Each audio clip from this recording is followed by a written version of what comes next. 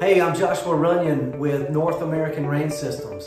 And today I thought I'd um, riff for just a second on why anybody would collect rainwater.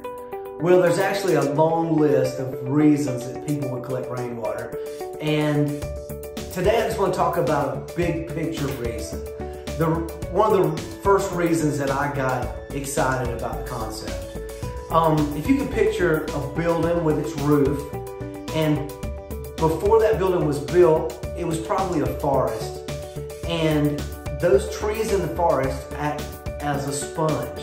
So when it rains, they capture the water droplets and they help slowly release it into the soil. And that soil is a filter and the water goes through the filter into the aquifer, bubbles back up in springs, goes into creeks, rivers, lakes, evaporates, and now we've got a perfect cycle.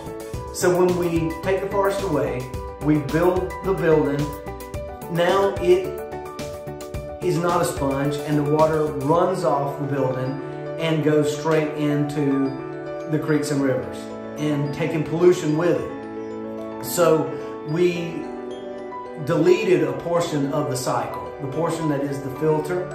And so now if we take the building and we capture a portion of the rainwater that falls on that building, and then we slowly release that water into the soil, into our landscape, now we've put that building back into the natural water cycle, um, helping water stay clean and safe for everybody. So I just think that's a really great reason to collect rainwater.